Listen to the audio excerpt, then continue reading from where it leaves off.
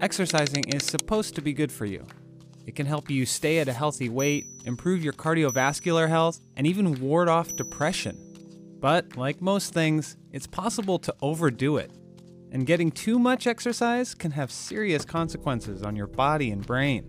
So, what exactly is too much exercising? Well, it depends on factors like your age, health, and choice of workouts. But in general, adults should get about five hours a week of moderate exercise, or two and a half hours or more of intense activity, or some combination of the two. That's according to the CDC. But research shows that going way above and beyond doesn't necessarily increase your health benefits. One unsurprising study found that light to moderate runners had a lower risk of death than people who didn't exercise. But in a surprising turn, some people who ran at a faster pace for more than three times a week had a similar risk of dying as non runners. So, running too much and too intensely seems to undo some of the health benefits gained from regular running.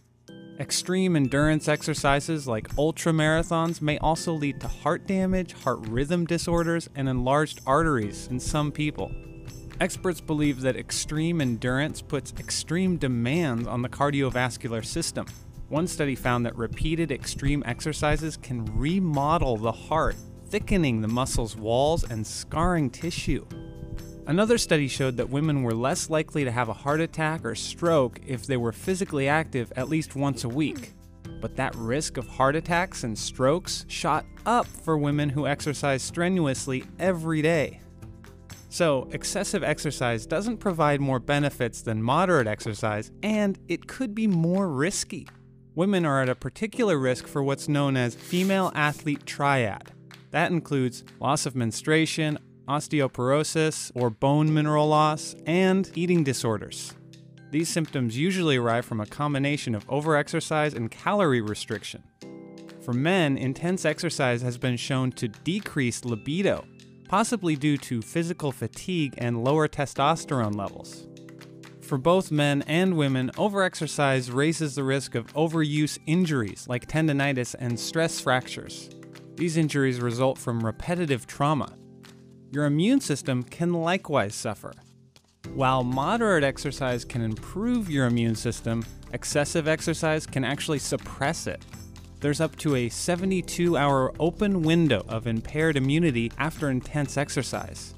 This basically means that viruses and bacteria have an easier time invading and infecting the body. And athletes who overexercised also experienced more upper respiratory tract infections. So we know excessive exercise can wreak havoc on your body, particularly your heart, tendons, ligaments, and immune system. And for around 1 million people in the US, exercise addiction is wreaking havoc on their brains. Symptoms of exercise addiction include withdrawal. That's when you feel anxious or exhausted when you miss a workout, or feeling a lack of control and unable to cut down on exercise, even when you know it's hurting you. Now, it's important to understand that you shouldn't just give up on exercising. The key is to get the right amount. So feel free, go forth and run. Just not all the time.